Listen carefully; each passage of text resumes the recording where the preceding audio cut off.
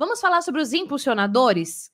Comportamentos, ações, atitudes. É isso daí que impulsiona a autoestima de uma pessoa.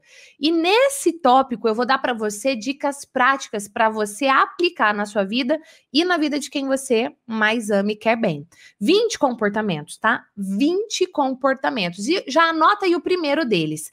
Enxergar e valorizar as qualidades. Não tem, não tem como você ter a sua autoestima elevada se você não enxergar suas qualidades. Se você só enxergar os seus defeitos. Gente, eu tenho defeito. Nosso convidado Al que vai entrar daqui a pouco tem defeito. Não tem como você elevar a sua autoestima se você não enxergar suas qualidades. Não tem, é incompatível com isso. Então você precisa parar e perceber, pera, o que, que eu tenho de bom?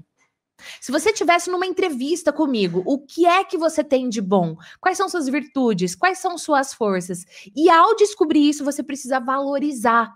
Porque às vezes você descobre, mas aí, sei lá. Mas eu me imaginar que eu descobri minhas forças, e mas aí eu fico me comparando com a Kelmane, também não dá certo. Eu tenho que sim enxergar e valorizar as qualidades. E aí elogiar a família, tanto o comportamento dois, anota aí, elogiar a si próprio, sim, se autoelogiar, por que não? Elogiar a si próprio e elogiar as pessoas ao seu redor. Vou contar para você dois segredinhos. Todos os dias, todos os dias aparece dois lembretes, vários na verdade, mas eu vou contar esses dois.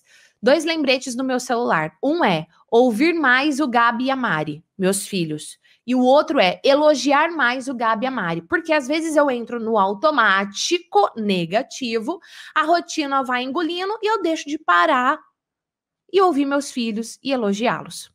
Então, eu não vou dormir sem dar um check nesse lembrete e jogar ele pro dia seguinte, porque para virar um hábito a gente precisa Coloca aqui nos comentários. É isso aí. Repetir. É isso. Então, Coloque. Tam... Lembra, no começo não vai ser natural, vai ser forçado. Nossa, que estranho elogiar as pessoas. Põe no seu plano de tração. Precisa elogiar. Esse é um comportamento. Se autoelogiar e elogiar as pessoas ao seu redor.